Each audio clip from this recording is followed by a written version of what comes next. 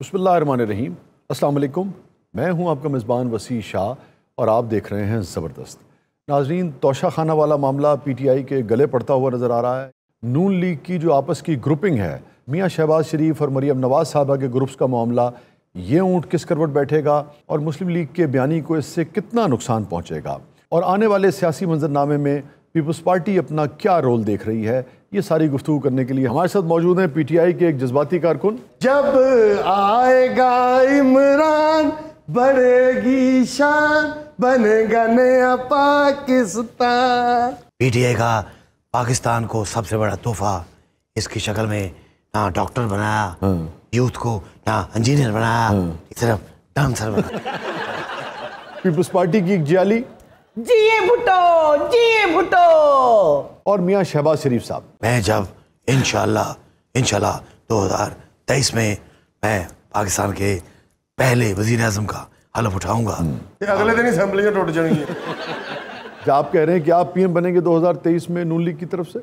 और और और आप बनेंगे।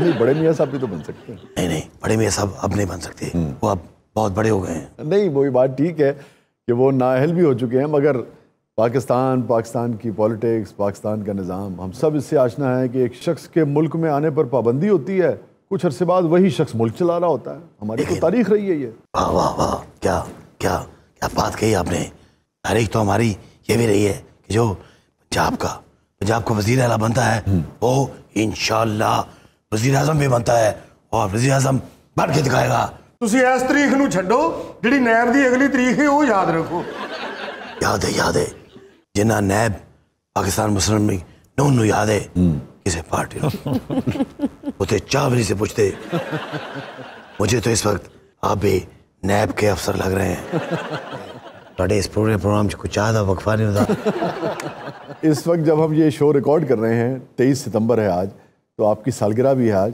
आपको मुबारक हो हैप्पी बर्थडे टू मी आहा हम भी अगर पीएम होते नाम हमारा होता पीएम पीएम खाने को मिलते लड्डू दुनिया कहती हैप्पी बर्थडे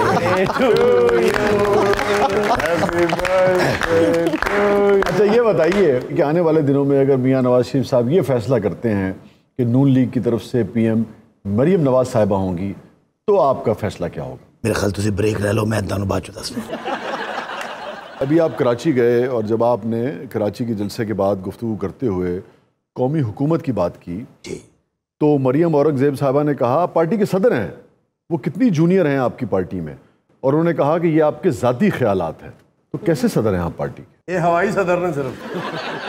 मैं मैं मरीम की बात को कभी कभी सीरियस नहीं लेता कभी। मरियम नवाज़ साहबा की बात को? नहीं मरीम औरंगज़ेब की। ये बताइए ये तकरीबन सत्तर बरस का होकर कैसा महसूस हो रहा है आपको? बार बार सत्तर कहना जरूरी है जनाब केड़ा पंजी साल ਤੁਹਾਡਾ ਮੇਰਾ ਐਵੇਂ ਹੀ ਕੋਈ 2 ਸਾਲ ਦਾ ਫਰਕ ਹੈ ਬੁਲੇਦਾ ਗੱਲ ਹੈ ਤੁਸੀਂ ਆਪਣੀ ਫਰੈਸ਼ਨੈਸ ਸੌਂ ਸੌਂ ਕੇ ਕਾਇਮ ਕੀਤੀ ਹੈ मैं जाग जाग के अपना खाना खराब कर हाँ नहीं आपकी जो मेहनत मैं है मैं बोल रहा हूँ मैं मैं अजय बोल रहा और साहब का नहीं आने वाला ਤੁਹਾਡਾ प्राइम मिनिस्टर बोल रहे मैं आपकी बात की तायद करने जा रहा था ਉਦੋਂ ਕਰਨਾ ਜਦੋਂ ਮੈਂ ਕਵਾਂਗਾ दो बारी सत्तर कह के मेरी याद ना शायद उधर कर दे तारीफ करने जा रहा था आपकी कि आपकी मेहनत तो सारा जहान मानता है आपके मुखालिफिन भी ये मानते हैं कि आपने पंजाब में बहुत मेहनत की और दिन रात एक किया आप ਸਰ ਜੀ ਪੰਜਾਬ 'ਚ ਤਾਂ ਇੰਨੀ ਮਿਹਨਤ ਕੀਤੀ ਆ 4-4 ਘੰਟੇ ਤੇ ਨਾਸ਼ਤੇ ਵਾਲੀਆਂ ਦੁਕਾਨਾਂ ਦਾ ਇੰਤਜ਼ਾਰ ਕਰਦੇ ਰਹੇ ਵੀ ਕਦੋਂ ਖੁੱਲੇ ਦਿਖਾਈਏ माशाल्लाह क्या बात है क्या खूबसूरत गल की थी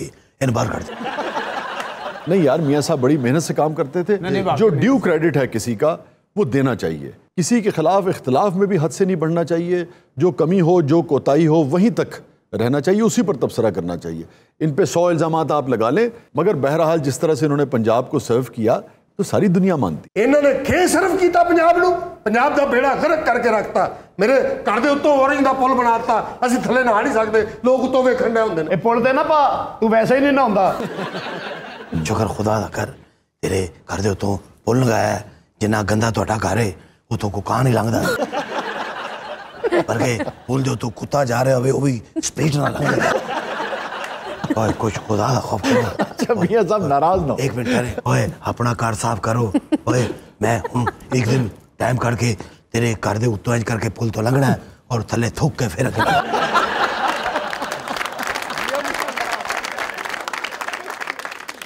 पीटीआई ऐसी बातें कर सकती है हम्म। कि पुल क्यों बढ़ाए नहीं? नहीं नहीं बेशुमार लोग ये बात करते हैं। बिल्कुल जी मेरी फुफी का घर चपुरजी सी हुन छदरे रहन दी मेरी फुफी पूरे लाहौर फिरती रहती है देखिए मियाँ साहब बात यह है कि शहरों की तरक्की बहुत ज़रूरी होती है। उस हवाले से जो ज़रूरी डेवलपमेंट होती है किसी शहर में वो भी बहुत ज़रूरी होती है। मगर उसके लिए शहर का नाक नक्शा नहीं बिगाड़ा जाता है। हाँ। शहर की जो तारीखी इमारतें हैं उनका व्यू बर्बाद नहीं किया जाता। और फिर शहर भी कैसा? लाहौर जैसा शहर? आपकी बातों से मुझे लग रहा है पैंट कोट तो उन्हें पीटीआई ने देता नहीं।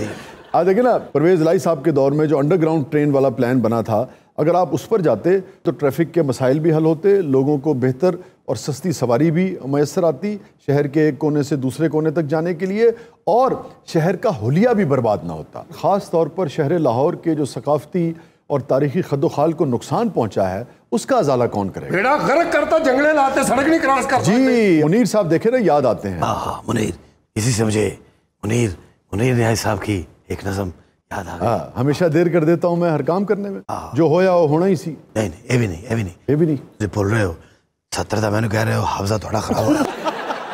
अच्छा वो आज दस दिन भी एम ही नहीं। फिर कौन सी? और पीछे चले जाओ। मुनीर साहब दी शुरू शुरू वाली नजमा। तेज हवा और तनहा फूल। आह मेरा ख्याल तुम अस्सी टप गए। अच्छा आप बताएँ कौन सी नज्म की बात कर रहे हैं हाँ, ऐसा फरमा दे ने तीतर के दो आगे तीतर। तीतर के दो पीछे तीतर। आगे तीतर पीछे तीतर। बोलो बोलो कितने तीतर?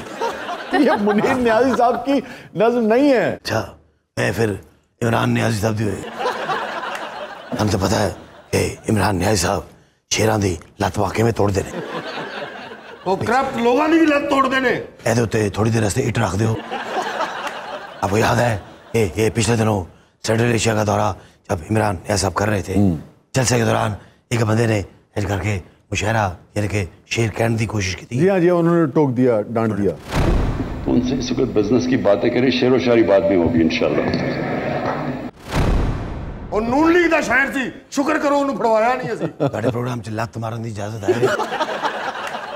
आप और मैं मैं और आप हम हेलीकॉप्टर में जी हाँ जी याद है हाँ कई काफी सारे सफर याद है मुझे नहीं ओ वाला ओ वाला किड़ा सी आप बावलपुर भी गए थे जब मैंने मैंने आपको पूछा कि अपना ਕੁਝ ਖਾਦਾ ਵੀ ਤੇ शाह साहब इनमें चल दे हेलीकॉप्टर से थले छोड़ देना आपको आपको गालिबन याद होगा कि आपका मेरा सिंग फंस गया था।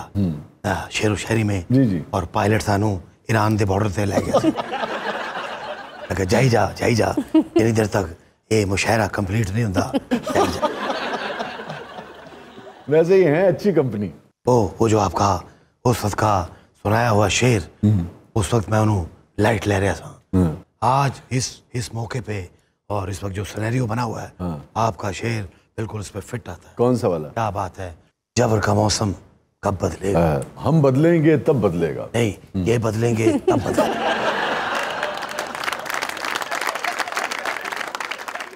ये बताइए अभी आपने ज़िक्र किया नैब का जब आपके पास आपकी पार्टी के पास इख्तियार थे पर आपकी पार्टी ने एहतसाब के नाम पर अपने मुखालिफिन के साथ कौन सा कम किया था? बीस साल बाद बाहर आई जे। मेरे को तो आया नहीं सी जा रहा आप अंदाज़ा करें ना कि अब वो इंतहाई करीब हैं आपके खानवादे के रिश्तेदारी है सैफुररहमान साहब की। उनका नाम एहतसाबुररहमान पड़ गया था। जरदारी साहब की तो जबान कटवाने लगे थे ये लोग। जवाब दीजिए ना इस बात का। तुझे भी दो तुझे भी तनख्वाह लें दो दो मैं तो ये समझता हूँ कि सबने यही किया? यही इस गवर्नमेंट में हो रहा है यही आपने किया यही पीपल्स पार्टी ने भी किया अपने दौर में। और जो बात आप तीनों में हिम्मत नहीं है कहने की वो मैं आपको बता देता हूँ कि नैब के कवानीन के बारे में जब ये सोचा जाता था कि इसमें तब्दीली लाई जाए ताकि सियासी मकासद के लिए अपने सियासी मुखालफन को दबाने के लिए नैब को इस्तेमाल ना किया जा सके। तो वही खुफिया हाथ आपको रोक देते थे जिससे आप तीनों जुड़ना चाहते हैं। क्या क्या मिसनी गल की थी? ये तो लगे हो कि तुसी नाल नाल सहाफी भी हो शायर भी हो दानश्वर बहुत अच्छे शाह साहब बहुत अच्छे। क्या बारीक बात की आपने। एक तारीख बयान की आपने। अफसोस ये है कि खुफिया हाथ खुफिया हाथ की हम बात तो करते हैं मगर खुफिया हाथों में इस्तेमाल कौन होता है इस्तेमाल तो आप लोग होते हैं अगर आप इनकार कर दें तो सवाल ही पैदा नहीं होता कि कोई खुफिया हाथ इस मुल्क में कोई काम दिखा जाए ਮੀਆਂ ਸਾਹਿਬ ਨਾਲ ਟੈਲੀਫੋਨਿਕ ਰਾਬਤਾ ਤੇ ਨਹੀਂ ਕੀਤਾ ਕਿ ਮੈਨੂੰ ਉਹਨਾਂ ਗੱਲਾਂ ਦੀ ਖੁਸ਼ਬੂ ਆ ਰਹੀ ਤੁਹਾਡੇ ਵਰਗਾ ਕਹਿ ਰਹੇ ਹੁੰਦੇ ਲੰਡਨ ਮੁਸ਼ਹਿਰ ਰੱਖੋ ਮੈਂ ਆ ਰਿਹਾ ਦੇਖੋ ਗਰੀਬ ਆਦਮੀ ਕਿੱਥੇ ਕਿੱਥੇ ਕਿੱਥੇ ਚਲਾ ਗਿਆ ਕਿੱਥੇ ਚਲਾ ਗਿਆ ਗਰੀਬ ਆਦਮੀ ਥੱਲੇ ਜਾ ਰਿਹਾ ਤੁਸੀਂ ਉੱਤੇ ਬੈਠੇ ਆਓ ਇਧਰੋਂ ਆਓ गरीब आदमी पीछे जाइए। गरीब आदमी कर के रहा है। अच्छा एक सवाल मेरा आप तीनों से जो कि आप तीनों पाकिस्तान की जो इस वक्त तीन बड़ी पॉलिटिकल पार्टीज़ हैं उनकी नुमाइंदगी कर रहे हैं।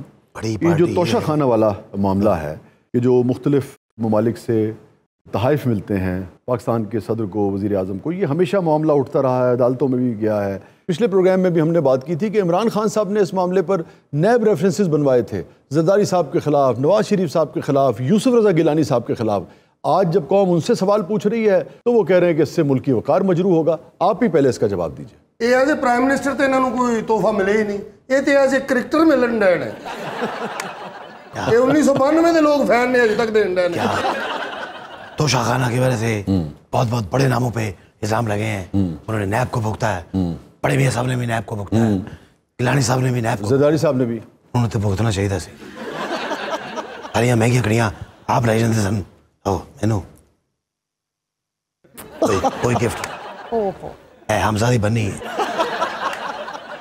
और और है है उन्हें अपने हिसाब ਨਾਲ ਫਿੱਟ ਕੀਤੀ ਹੈ हमजा साहब ने ਹਾਂਜੀ ਉਹਦੇ 6 ਵਜੇ ਨੇ ਮੇਰੇ 12 ਵਜੇ नहीं ਪਾਰਟੀ ਡਾਵਾਡੋਲ ਇਸ ਕੋਲ ਹੋਈ ਹੈ ਸਾਡੇ ਆਪਸ ਚ ਟਾਈਮ ਹੀ ਨਹੀਂ ਮਿਲਣ ਦੇ मुझे आप ये बताइए कि 2017 में जब सेनेट में यह सवाल उठाया गया इसी मामले पर यही तोशा खाने के मामले पर उस वक्त आपकी पार्टी ने भी बिल्कुल यही कहा कि जनाब इससे कौमी वकार मजरू होगा। आज आपकी सारी पार्टी इमरान खान साहब के खिलाफ हो गई है।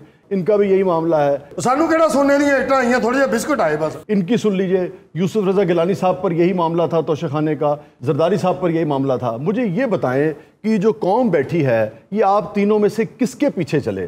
किस पर यकीन करे? किसकी बात को सच माने? मुझे तो कभी कभी ये लगता है कि पूरे पाकिस्तान को आप सबने मिलकर तोशा खाना समझा हुआ है और 10-15 परसेंट दे के आप सब कुछ समेट लेना चाहते हैं। ना ना ना ना। आप लोगों के पास तो इतना पैसा था यार। आप लोगों को तो ये कानून बनाना चाहिए था कि पूरी दुनिया के जो भी सरबराहान मुमलिकत तहफ़ देते हैं पाकिस्तान को आप कहते हैं कि भाई ये पाकिस्तानियों के तहफ़ हैं। बाहर और वो सारे तोहफे सरेआम नीलाम होते और उस नीलामी से जो पैसे आते वो आप आवाम की खिदमत पर लगाते ਮੈਨੂੰ ਸੀਰੀਅਸ ਸਵਾਲ ਕਰਨ ਦੇ ਹੋ ਇਹਨੂੰ ਕਾਮੇਡੀ ਦਾ ਕਿਉਂ ਦੇਣ ਦੇ ਹੋ ਤੁਸੀਂ ਪੀਟੀਆਈ ਜੁਆਇਨ ਕਰ ਲਈ ਹੈ ਸ਼ਾਹ ਕਰ ਲਈ ਹੈ ਤੁਸੀਂ ਪੀਟੀਆਈ ਜੁਆਇਨ ਕਰ ਲਈ ਹੈ ये बड़ा मसला है जिससे सवाल करो वो बजाय जवाब देने के आप पर इल्ज़ाम तराशी शुरू कर देता है ਤੁਸੀਂ ਜਿਹੜੇ ਸਿਹਤ ਫੜੀ ਹੈ ਨਾ ਤੁਸੀਂ ਫਵਾਦ ਚੌਧਰੀ ਦੀ ਜਗ੍ਹਾ ਲੈਣਾ ਚਾਹ ਰਹੇ ਹੋ वैसे मियाँ साहब आज ये वादा कर सकते हैं आप कौम से कि अगर कभी आप लोगों की हुकूमत आई तो आप ये कानून बना देंगे कि जितने भी गैर मुल्की तहाइफ मिलते हैं वो पाकिस्तानियों के हैं पाकिस्तानियों के नाम हैं और इनकी नीलामी करके जो रकम आए वो पाकिस्तानियों पर खर्च हो। ऐसा कानून बनाएँगे आप लोग आकर? क्या क्या क्या खूबसूरत बात आपने की है। ऐसी खूबसूरत बात मोतियों से लिखी हुई बात। तो फिर आप कैमरे की तरफ़ देखें और कौम से वादा करें कि अगर कभी आप लोगों की हुकूमत आई तो जितने तहाइफ गैर ममालिक से मिला करेंगे वो पाकिस्तानियों के नाम हुआ करेंगे और पाकिस्तानियों पर खर्च होगी उनकी रकम ओके ਜਦੋਂ ਇਹਨਾਂ ਦੀ ਗਵਰਨਮੈਂਟ ਆਉਣੀ ਇਹਨਾਂ ਨੇ ਕੈਮਰਾਮੈਨ ਨੂੰ ਫੜਵਾ ਦੇਣਾ तीनों पार्टीज मिलकर वादा करें ए दो को करा लो मेरा वादा होया है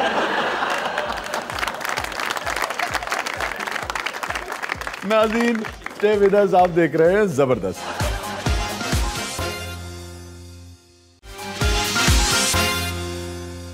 वेलकम बैक नाजरीन ज़बरदस्त में एक बार फिर खुश आमदीद वक्त हुआ है हमारे सेगमेंट का जो यकीनन आपको तो बहुत पसंद है क्योंकि आपके फीडबैक से हमें इसका अंदाज़ा होता है मगर हमारे कमेडियन दोस्तों की इस सेगमेंट से जान जाती है जी हाँ शेरियात ਅੱਛਾ ਜਿੰਨਾ ਪੁਰਾਣਾ ਸ਼ਹਿਰ ਡਿਸਕਸ ਕਰਦੇ ਨੇ ਤੇ ਉਹਨੇ ਹੀ ਆਪ ਫਰੈਸ਼ ਲੱਗਦੇ ਨੇ ਉਹ ਆ ਕੇ ਪਤਾ ਨਹੀਂ ਇਹਨਾਂ ਨੂੰ ਕੰਗਾ ਫੇਰ ਜਾਂਦੇ ਨੇ ਅਸੀਂ ਤਕਰੀਬਨ ਆਪਣੇ ਹਰ ਸੈਗਮੈਂਟ 'ਚ ਨਾ ਸ਼ੇਰੀਆ ਥੋੜਾ ਥੋੜਾ ਕਰ ਰਹੇ ਹਾਂ यार शायर शेर नहीं सुनाएगा तो क्या सुनाएगा? हाँ। चलिए आप शुरू करें मैं आपके साथ हूँ। ये हुई ना बात। देखो जी ऐसी कमावांगे तो गाओगे सुखनवर चाहे हम हो या ना हो लेकिन सुखन शनाज तो होना चाहिए। हाँ, कोई शक नहीं। क्या बात है। आप देख रहे हैं मेरी उर्दू काफ़ी गहरी होती है। आप खुद एक गहरे आदमी हैं तो फिर तो एक खूच बह के सुनदा तो यानी वैसे मुसलसल खूबसूरत होने की खास वजह है? ये मुझसे पूछ रहे हैं आप जी आप इसे और मैं इसको पूछ के मार कर ये मारे न मारे दो लोग हैं जो जरूर आपको मारेंगे कुछ भी नहीं हनी भाई आपके सवाल का जवाब ये है कि आपका हुस्न नजर है ਸਰ ਤੁਸੀਂ ਸ਼ਾਇਰ ਹੋ ਕਿਹੜਾ ਕੋ ਭਾਰਾ ਕੰਮ ਕਰਨਾ अच्छा ਸਿਰਫ ਲੰਮੇ ਪੈ ਕੇ ਤਾਂ ਨੂੰ ਪੱਖਾ ਦੇ ਕੇ 1.5 ਲੱਖ ਦਾ ਸ਼ੇਰ ਲਿਖ ਦੇਣਾ शायर लम्हे पे वेख्या तो शायर खलोता नहीं आपके सवाल का जवाब इन्होंने दिया है ਅੱਛਾ ਜੀ ये है मीर तकी मीर साहब आपने कहा कि शायर कुछ नहीं करता ना? जी। मिसरा कभू कभू मीर साहब फरमाते हैं। जी। कभू कभू पुरानी ज़ुबान है ना मीर के जमाने की। कभू कभू यानी कभी कभी। अच्छा कभी कभी। कभी कभी। मौजू करना यानी अल्फाज को रिदम में लेकर आना शेर की सूरत में ख्याल को बयान करना मौजू करना। मिसरा कभू कभू कोई मौजू करूँ हूँ मैं? यानी कि कभी कभी। कभी कभी होता है काम। मिसरा कभू कभू कोई मौजू करूँ हूँ मैं? Uh-huh. किस खुश सलीकगी से जिगर खून करूँ हूँ मैं? अरे वाह वाह क्या बात सिर्फ़ जिगर खून तो लावा अल्लाह की कसम मैंने नहीं पता की क्या कहते यही बस आपकी समझ के लिए यही था कि एक मिसरा कहने के लिए मीर साहब फरमाते हैं कि जिगर खून करना पड़ता है। वाह वाह अच्छा जनाब आज का शेर है तकरीबन 125 से 30 बरस पुराना। क्या बात है। तो साल बधाई जा रहा है। और इसके ओरिजिनल खालिक को हमने ढूंढना है। इसलिए कि ये भी उर्दू के उन अशार में से एक है जो शेर आज हम डिस्कस करने जा रहे हैं जो है किसी और का मगर दुनिया किसी और से मनसूब कर देती पुराने कब्रस्तान जान की तैयारी कर लो कह रहा है शोरे दरिया से समंदर का सुकून। दरिया शोर करता हुआ बहता है। समंदर उससे कहीं ज़्यादा वसी है। यानी कि सैकड़ों दरिया अपनी तमाम तर वसतों के साथ समंदर में समा जाएँ तब भी समंदर उनसे बड़ा रहेगा साइज़ कह रहा है शोर दरिया से समंदर का सुकूत जिसका जितना जर्फ है उतना ही वो खामोश भाई बहुत अच्छे। शोभा तंग कर रहे आप खामोश रहिए हम बैठे हैं हमारी बात हो रही क्योंकि इन लफ्जों की समझ हमारे अलावा किसी को आ ही नहीं सकती। एक मुझे शायर का नाम होता मदहोश रुस्वा। अच्छा जी बताइए इस शायर के ओरिजिनल खालिक का नाम कह रहा है शोर दरिया से समंदर का सुकूत। जिसका जितना जर्फ है उतना ही वो खामोश है। और पाइए एक लाख रुपए का इनाम। शाहजी शेर का तो सारी दुनिया को पता है। ये अपनी जरफ की वजह तो नहीं सर खामोश ना टाइट एड्स। बात तो करने दीजिए अरे हजूर। जनाब शाहजी ये मौलाना मोहम्मद अली जौहर का शेर है लाइए ना लाख रुपए हमारी हथेली पे रखिए डॉक्टर साहब आप प्यारे आदमी हैं हम दिल निकाल के आपकी हथेली पे रख देंगे मगर एक लाख रुपए इसलिए नहीं रख सकते कि आपका जवाब गलत है अच्छा वैसे मैं हिसाब लाया कि मंगण वाला किसी लिबास का मोहताज नहीं ਪਰ ਲੇਕਿਨ ਕੋਕਬ ਸਾਹਿਬ ਨੂੰ ਤੁਸੀਂ 1.5 ਲੱਖ ਰੁਪਏ ਦੇਣਾ क्यों ਕਿਉਂਕਿ ਪੌਣੇ 2 ਲੱਖ ਰੁਪਏ ਦਾ ਕੋਟਾਂ ਵਾਲੇ ਦੇ ਸਿਰ ਚੜਿਆ ਹੈ अच्छा नहीं बेशतर लोग इस शेर को मौलाना मोहम्मद अली जौहर का ही शेर समझते हैं। इन्होंने भी तो ठीक लेखा लगा नहीं ठीक कह रहे हैं आप इस बात के कबूल करने में क्या आ रहा है? मैं भी एक ज़माने में यही समझता था। और देखिए कोई भी शख्स सब कुछ तो नहीं जान सकता। इस सेगमेंट का तो मकसद ये है कि शेर व अदब का तस्करा हो जाता है अपने बुज़ुर्गों का शरा कराम का तस्करा हो जाता है। शेर के थ्रू कोई अच्छी बात लोगों तक पहुँच जाती है। जब शोरा के ज़मानों का तस्करा होता है जिस ज़माने में वो थे उस ज़मानों का ज़िक्र हो जाता है तहजीब का ज़िक्र हो जाता है कल्चर का ज़िक्र हो जाता है तारीख का मौजू छिड़ जाता है। तो इसमें कोई ऐसी बात नहीं। मैं खुद एक जमाने तक ये समझता था कि मौलाना मोहम्मद अली जौहर साहब का शेर इदा का बंदा गलत जवाब देगा ना टाई तो मुछा ला के ए करता अच्छा जी देखिए इस मुगालते की दो बड़ी वजूहत थी। एक तो एरा वही था। एग्जैक्ट जिस सन में ये जो शेर है कह रहा है शोर दरिया से समंदर का सकूत जिसका जितना ज़र्फ है उतना ही वो खामोश है। ओरिजिनली जिस शायर ने ये शेर कहा है उनकी डेट ऑफ़ बर्थ भी 1878 है और मौलाना मोहम्मद अली जौहर साहब की डेट ऑफ़ बर्थ भी 1878 है। तो एरा एक था जमाना एक था एक ही अहद के दोनों लोग थे। मौलाना का ज़िक्र छिड़ा ही है तो हम सब जानते हैं कि तरीके आज़ादी में मौलाना की क्या अहमियत थी क्या कंट्रीब्यूशन है उनकी। बड़ी कंट्रीब्यूशन थी जौहर बरदरान की। तो मौलाना के ज़्यादातर मौजूद ख़ास तौर पर शायरी में आपको सियासी और दीनी नौीयत के मिलते हैं। लेकिन मौलाना ने जो रोमानवी अशार कहे हैं मामलात पर जो अशार कहे हैं वो इस कदर रोमांटिक हैं कि आपको उस्ताद दाग की याद दिला दें ਹਾਂਜੀ ਹੁਣ ਦੋਵਾਂ ਦੇ ਮਿਕਸ ਕਰਕੇ ਨਾ 8 ਸ਼ੇਰਾਂ ਨੂੰ ਦੋਵਾਂ ਦੇ ਸੁਣਾ ਦਿਓ इन्हें थोड़े तो अलावा मुशायरा पढ़ना है अब देखिए मौलाना के शेर है सारी दुनिया ये समझती है कि सौदाई है सारी दुनिया ये समझती है सौदाई कि है सौदाई है अब मेरा होश में आना तेरी रुसवाई है क्या बात है क्या मजादारी है यार हैं? क्या मजादारी है क्या खूब कहा है। ਇਹੋ ਜਿਹੇ ਬੰਦੇ ਹੋਸ਼ ਚ ਆ ਕੇ ਸਾਰਾ ਕੁਝ ਦੱਸ ਦਿੰਦੇ ਨੇ ये जो रिलेशनशिप में वज़ादारी है यार ये बड़ी अहम चीज़ होती है उसकी वजह है कि लोग लोगों से पहचाने जाते हैं लोग लोगों की शनाख्त होते हैं लोग लोगों का वकार होते हैं रिश्ते एक दूसरे का गुरूर हुआ करते हैं जी मुझे कतील साहब याद आ गया लो जी को आया जी ਇਹ ਕਤੀਲ ਸਾਹਿਬ ਸਾਨੂੰ ਕਤਲ ਕਰਾਉਂਗੇ वो मेरा दोस्त है सारे जहां को है मालूम कतील साहब वो मेरा दोस्त है सारे जहाँ को है मालूम दगा करे वो किसी से तो शर्म आए मुझे। तो रिश्ते एक दूसरे का मान और फख्र हुआ करते हैं। अपने लिए नहीं बाजुकात अपने प्यारों के गुरूर के लिए आपको बहुत सारी चीज़ों से गुरेज करना पड़ता है। जब्त करना पड़ता है। एहतियात करनी पड़ती वो शरी वो एक और शेर भी है वो जो बेचते थे दवाए दिल। जी हाँ वो दुकान अपनी बढ़ा गए। हाँ कैसा मेरा शेर लाइट में ये नहीं किया कि वो जो बेच थे दवाई दे लाओ तो फ़ोन के वो दुकान अपनी बढ़ा दी।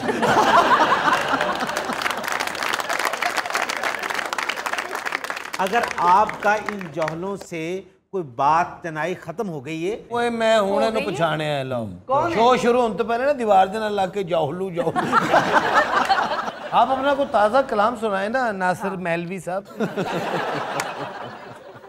अच्छा सुनाए चलें अगर कुछ लिखा है नया तो ਉਹਨੂੰ ਤਾਜ਼ਾ ਹਵਾ ਲਿਆ 2 ਸਾਲ ਹੋ ਗਏ देखिए किस तरह के आपने ये लोग बिठा रखे हैं इतना अहम आदमी बैठा है आप हम पे तवज्जो करें इन बच्चों को क्या पता शायरी क्या होती ਅਹਿਮ ਬੰਦੇ ਨੂੰ ਹਮੇਸ਼ਾ ਫਾਂਸੀ ਹੋਈ ਹੈ है ये सियासी बात करके ये बंद करवा देगा पहले आप बताएं आप इस समंदर का तजगा कर रहे हैं अच्छा लफ्ज सही बोल देने ने इन्हें ते मुंह च ना जल जाते ने हमारे अल्फाज जैसे भी हैं आपको समझ आ रही है या नहीं आ रही? नहीं मैं तो समझ रहा हूँ कि आप क्या कहना चाह रहे हैं मगर साफ़ तो अदा करें बाकी लोगों को भी समझ आए। अ, हम कहना चाह रहे हैं जी, जी, कि ये तर्जगे की बात हो रही है किसकी बात हो रही है? तर्जगे की। किसकी? मियाँ क्या हो गया? आप, आप इनकी तरह हमारा चेजा ले रहे नहीं नहीं नहीं मैं चाह रहा हूँ आप ये लफ्ज ठीक से एक बार अदा करें। तर्जगा हमारे क्या? तर्जगा। दर्सगा नहीं तर्जगा मतलब दर्सगा क्या होता है? मतलब जो शायरी आप अभी शेर समंदर पे शेर सुना रहे थे। जी जी। उस पर कभी हम कह रहे हैं क्या कह रहे हैं? कि आपने कभी तस्करा किया है? तन पता एक बार ये तस्करा करते करते पड़े गए। छोड़े आप इन्हें। आप पहले समंदर पे शेर सुनाए फिर हम सुनाएँगे छप्पड़ पे। हाँ। और माजिद उतर बह के सुनाएगा। हम्म, हम्म, समंदर पे शेर। देखा? देखो नहीं है नहीं है। इन्हें अपने कपड़े फाड़ याद आ गया मुझे। वो कह रही थी समंदर नहीं है आँखें हैं। वो कह रही थी समंदर नहीं है आँखें आँखें हैं। मैं उनमें डूब गया एतबार करते हो। वाह। वाह वाह आपने पहले ही बहुत वक्त बर्बाद कर दिया मुझे आगे बढ़ना है। शाह जी हमारी आसानी के लिए कोई क्लू दे दीजिए। ये मैं आपको बता ही चुका हूँ कि 1878 की इनकी पैदाइश है और इनका नाम था सैयद अबुल आला सईद अहमद। मगर जो इनका तखल्लुस था जिस नाम से ये पहचाने जाते हैं वो अब भी अगर आप बता दें तो लाख रुपए आपका ਕਰ ਲਓ ਗੱਲ ਸਾਰਾ ਕੁਝ ਦੱਸ ਕੇ ਵੀ ਤੇ ਅਸੀਂ ਨਹੀਂ ਜਿੱਤ ਸਕਦੇ पर कैफी आदमी हो सकता है नो नो मैं आपसे बात कर रहा हूँ 1878 की पैदाइश है उनकी कैफी साहब की तो पैदाइश 1919 की है 2002 में उनकी वफात हुई मारूफ जो अदाकारा हैं भारत की शबाना आजमी साहिबा के वालिद थे वो वैसे कैफी साहब की तारीख पैदाइश 1919 भी आती है और 1918 भी आती है मैंने कहा रिकॉर्ड की दुरुस्ती के लिए ये भी बताते चलो जेम्स बॉन्ड की तस्वीर दो घंटे बारिश पई रहे शाहिद साहब वर्गी हुई ਸਾਰਿਆਂ ਦੇ ਨਾਮ ਤੇ ਹੋਣੇ ਚਾਹੀਦੇ ਨੇ ਲੇਕਿਨ ਤੁਹਾਨੂੰ ਪਦੈਸ਼ਾਂ ਦਾ ਵੀ ਪਤਾ ਲੱਗਦਾ ਸਭ ਤੁਸੀਂ ਵਧਾਈਆਂ ਲੈਂਦੇ ਰਹੇ शाह जी कोई और क्लू दे दें क्लू मंगी जाना पढ़ना ना अच्छा देखिए इनकी पैदाइश थी लखनऊ की ना तो जो इनका तखल्लुस था जिस नाम से जाने जाते हैं उस तखल्लुस के साथ ये लखनवी भी लगाते थे साड़ियाँ खातिन इंडिया मासूम सब्जियां नहीं कुछ आके कह रही थी भाई कोई क्लू है ਲਖਨਵੀ ਦੱਸ ਦਿੱਤਾ ਅਸਲ ਨਾਂ ਦੱਸ ਦਿੱਤਾ ਤਾਰੀਖ ਪਦੈਸ਼ ਦੱਸ ਦਿੱਤੀ ਤੇਰੀ ਕੀ ਟੈਨਸ਼ਨ ਹੈਗੀ ਹੈ ਉਹ ਆਪਣਾ ਕੰਮ ਕਰਨ ਡਏ ਨੇ ਤੂੰ ਆਪਣੀ ਰੇੜੀ ਅੱਗੇ ਕਰ ਸਾਗਰ ਸਦੀਕੀ ਦਾ ਬਾਂਦਰ ਹੁੰਦਾ ਸਾਗਰ ਸਾਹਿਬ ਤੇ ਬਾਂਦਰ ਨੂੰ ਵੀ ਬੜੀ ਆਮਦ ਹੁੰਦੀ ਹੋਏਗੀ ਅੱਛਾ ਉਹ ਬਾਂਦਰ ਹੋਣ ਤੇ ਮਾਈਂਡ ਨਹੀਂ ਕਰ ਰਹੇ नहीं यार सागर साहब का बंदर होना कोई कम एजाज की बात है ਕਿਆ ਤੁਸੀਂ ਬਾਂਦਰ ਨੂੰ ਬਚਾਇਆ ਹੈ अच्छा जी मैं इनका नाम आपको बताता हूँ मगर उससे पहले इनका एक और खूबसूरत शेर ਵਾਸਤਾ ਦੇ ਦੇ ਨਾਂ ਦੱਸ ਦੇ ਉਹ ਪਿੱਛੇ ਫੋਟੋਆਂ ਆਪਸ ਵਿੱਚ ਗੱਲਾਂ ਕਰਨੀਆਂ ਇਹ ਸੈਗਮੈਂਟ ਕਦੋਂ ਮੁੱਕਣੇ ऐ शम्मा तुझ पे रात ये भारी है जिस तरह है बता देता हूँ नातिक लखनवी साहब का ये शेर है ऐ शम्मा तुझ पे रात ये भारी है जिस तरह ऐ शम्मा तुझ पे रात ये भारी है जिस तरह मैंने तमाम उम्र गुजारी है इस तरह। वाह वाह वाह क्या कहने